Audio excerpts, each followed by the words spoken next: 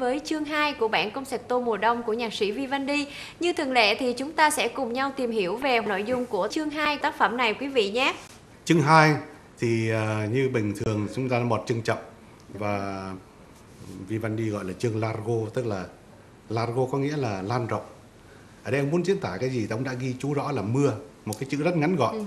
Tức là Vivendi muốn diễn tả cái cơn mưa mưa trong mùa đông. À thì lúc bây giờ chúng ta có tưởng tượng một cái cảnh ngồi trong một ngôi nhà gỗ và tuyết bắt đầu chuẩn bị tan cho nên nhiệt độ nó nóng hơn ấm hơn cho nên không còn tuyết rơi nữa mà bắt đầu những cơn mưa những cái giọt mưa xuống thì cả dàn nhạc trong nhất là dàn dây sẽ diễn tả cái cái cái tiếng mưa rơi trong mùa đông mưa xuân phải không thầy không nó vẫn là trong mùa đông nó vẫn là của mùa nó, đông nó vẫn là dạ. mùa đông à, và cái đặc biệt của cái cơn cơn mưa mùa đông là như thế này chúng ta thấy tuyết thì có vẻ như là trong sạch yeah. Dạ. tinh khiết nhưng thật ra xét về mặt khoa học thì trong tuyết nó nhiều tạp chất. Lắm. Dạ, vì vậy cho nên cái giọt mưa nó rớt xuống nó rất không đều đặn. Đây là cái đặc điểm của chúng ta nghe trong cái cái cái cái, cái chương 2 này. Cái tiếng mưa rơi cái tiếng ờ, xuống nó không có đều nhau là vì cái, ông diễn tả như vậy.